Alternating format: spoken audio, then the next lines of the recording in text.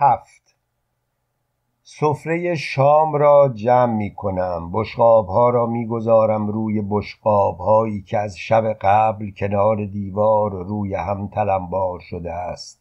قوری چای را آب می کنم. می گذارم روی بخاری. قوطی سیگارم روی تاخچه است. دو تا بیشتر ندارد. مهم نیست. یکی را با چاییم می‌کشم آن یکی را می‌گذارم برای وقتی که رفتم توی رخت خواب. وقتی که چراغ را خاموش کرده ام وقتی که لای آن ملافه های سرد و آن تاریکی قلیز تنهاییم از همیشه بیشتر است. قدم می‌زنم دور اتاق پشت ها و بخاری. این کار هر شب من است. قبل از خواب ده دور دوازده دور یا بیشتر.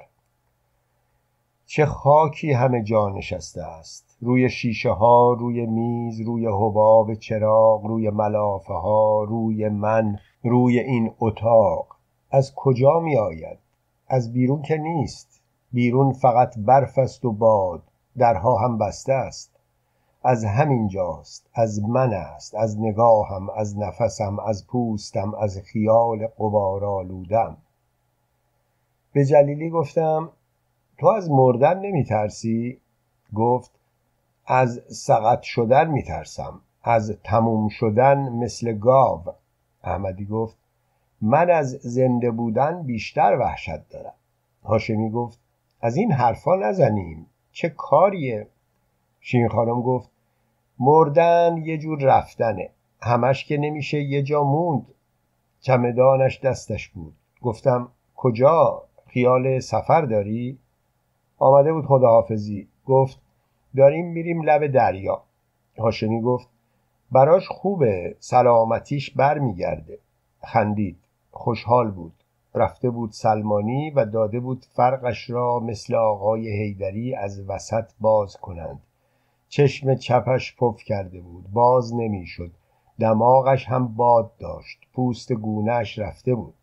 گفت چیزی نیست. خوردم زمین. شیرین خانم یواشکی توی گوشم گفت دروغ میگه. شاگرداش هلش دادن هوش کردن از پشت سر آب پاشیدن به لباسهای نوش. با این حال اوقاتش ترخ نبود. گفت بچه های خوبی هن. خواستن خوشمزگی کنن. یک مرتبه دیگر هم کتک خورده بود. یادم هست شبها کار می‌کرد. می‌گفت می‌خوام شیرینک و ببرم لب دریا. پول ندارم. حقوقم رو ندادن. نه اینکه نخوان بدن ولی خب هنوز ندادن. لابد ندارن. گفت به کسی نگو کجا کار می‌کنم. خوب نیست. رفتم سراغش. توی پارک پشت خانهشان تاب و سرسره و چرخ فلک گذاشته بودند. جایی هم بود به اسم دالان وحشت یک دالان تاریک پیچ در پیچ. گفتم هاشمی جان این تویی؟ باور نمی کردم اسکلت شده بود. تا کمرش را کرده بودند توی گونی. فقط پاهایش بیرون بود. روی گونی را نقاشی کرده بودند. کارش این بود که بیستد یک گوشه توی دالان وحشت و پخ کند توی شکم این آن گفت همش میترسم شاگردام منو بشناسن. همش دعا می‌کنم کسی از اینجا رد نشه. دلم نمیاد مردم رو بترسونم. چند شب بعد آمد در خانم دیر وقت بود. ایستاده بود پشت ناودان و چیزهایی نامفهوم زیر لب زمزمه می‌کرد. گفتم چیه؟ چه خبره؟ چرا صدات در نمیاد؟ سر و صورتش خونی بود. گفت اصلا خوب نیست آدم تو شکم مردم پخ کنه. اینکه تفریح نیست. حق داشتن عصبانیشن. کتکش زده بودند. سه چهار تا جاهل مست گفته بودند خدام تو شکم ما پخ نکرده. چه برسه به تو مافنگی قرازه آن روز که می‌رفتند شمال یادم هست. شیرین خانم از پشت شیشه اتوبوس نگاهم می‌کرد. شکلش عوض شده بود. مثل بچه ای بود که یک مرتبه پیر شده است. ته دلم لرزید. یاد آن روز افتادم که توی حوز آبتنی می‌کرد. میدرخشید. برق می‌زد. مثل یک گل بنفشه بود. نمی‌شد زیاد نزدیکش رفت. آدم می ترسید با نفسهایش پوست پاکیزش را پژمرده کند. یادم هست که هاشمی دائم زیر لب می گفت هیچ معلومه تو اصلا کی هستی؟ تا حالا کجا بودی؟ عادت کرده بودیم که نپرسیم. مهم این بود که آمده بود که ما را پیدا کرده بود. تنها هیدری بود که همیشه سراغ شناسنامه شیرین خانم را می گرفت و دلش راضی نمی شد. چه جایشان خالی است همهشان. چند هزار بار به این عکس سر تاقچه نگاه کرده باشم خوب است. نگاه کردن به این عکس هم کار هر شب من است. گاهی وقتها یادم می رود که چه شکلی بودند. صورتهایشان توی ذهنم روی هم می افتد. آقای هیدری با چشمهای شیرین خانم نگاه هم می کند طلعت خانم با چندین دست با مخلوطی از آقای مهدوی و انوری پیش چشمم ظاهر می شود به هر کدام که فکر می کنم آن دیگری همانجاست. ظاهر می شود و حضور خودش را تحمیل می کند دیشب خواب مهدوی را می دیدم کجا بودیم؟ یادم نیست. چه کار می کردیم آن هم یادم نیست. فقط می‌دانم تمام شب با هم بودیم. دلم برایش چقدر تنگ شده. برای صورت گرد و دماغ قرمزش برای لبهای گل انداخته و گوشهای صورتیش برای لجبازی های بچگانه و تنبلی فراوانش. مرگش هم مثل خودش ساده بود. افتاد توی حوز خانهشان و خفه شد. گیر کرده بود لای لجن و خزه های قدیمی کف حوز چه سفری بود! کاش نرفته بودیم. جلیلی گفت چه بد قدم بودیم. حالا چطوری تو روی طلعت خانم نگاه کنیم؟ شب قبلش رسیده بودیم. هنوز خستگی راه از تنمان نرفته بود که این اتفاق افتاد. باورمان نمی‌شد. من بودم و جلیلی. ایستاده بودیم کنار در حیات و قدمهایمان پیش نمی‌رفت. گفتیم شاید خواب می‌بینیم. شاید همه اینها یک بازی است. صدایش هنوز توی گوشمان بود. حضور داشت. مرگ نمی توانست آنقدر آسان باشد آنقدر دریده و بی حساب تلت خانم گذاشته بودش روی سنگ فرش حیات زیر درخت لب باغچه. نگاهش می‌کرد. دورش میخزید بویش می‌کشید. یواش یواش صدایش می‌زد. آب کتش را میچلاند و زوزه می‌کشید. نمیگذاشت نزدیکش شویم نمیگذاشت دستش بزنیم. خم شده بود روی مهدوی تا از آفتاب مسونش دارد.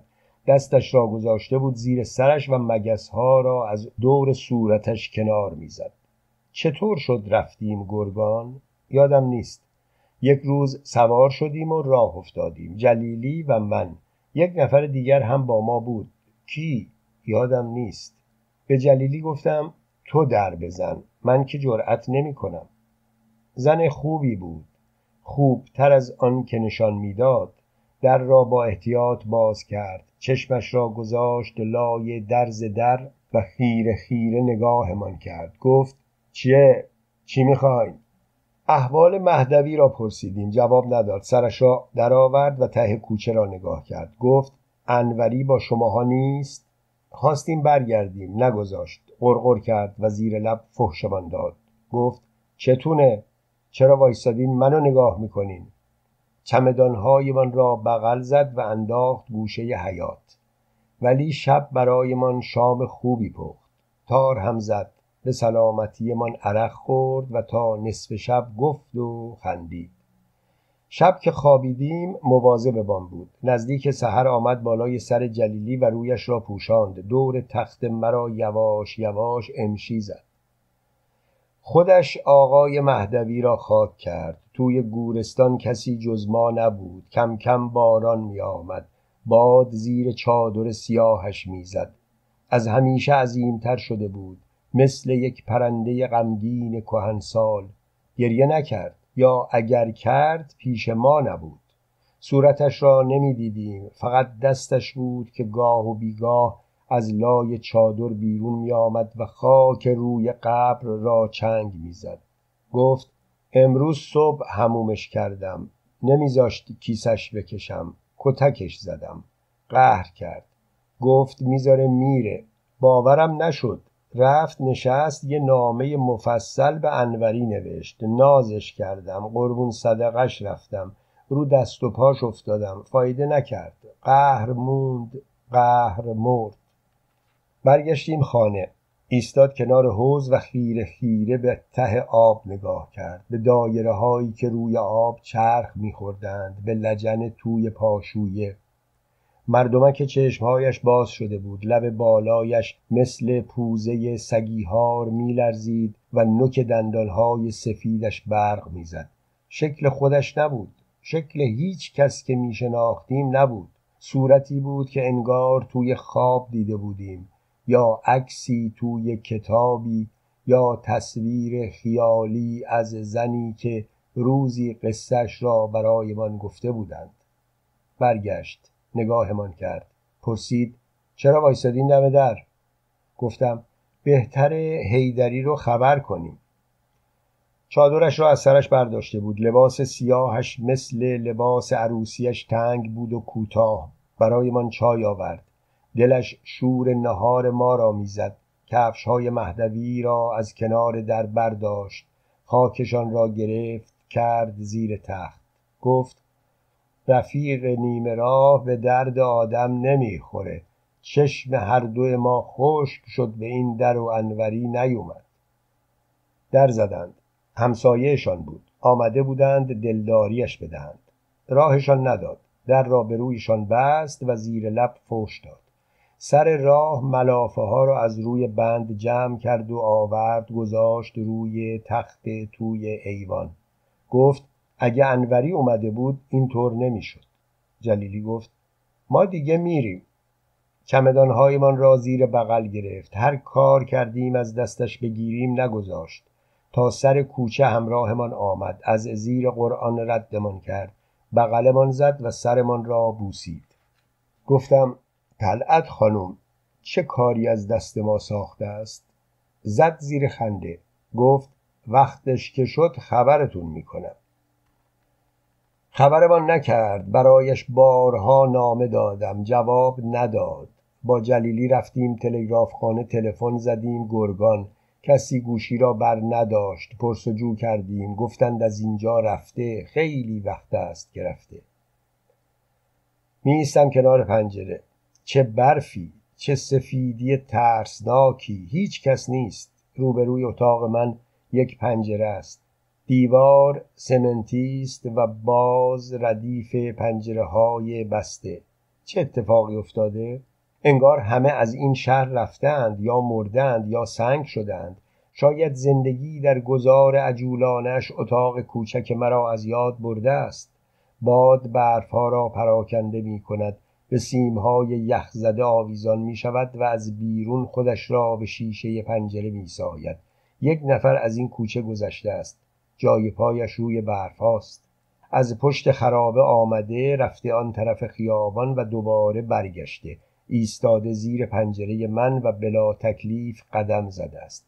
جای پایش کنار دیوار مردد و نامنظم است. انگار دنبال کسی میگشته.